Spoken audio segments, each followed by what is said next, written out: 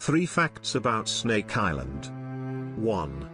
It is home to one of the most poisonous snakes in the world, the golden lancehead viper, it is estimated that 4,000 inhabit the island. 2. The Brazilian government has outlawed going to the island, allowing only a handful of scientists to visit each year to study the snakes. A doctor must be with them at all times. 3. It is estimated that there are 430,000 snakes on the island in total. The island is only 106 acres.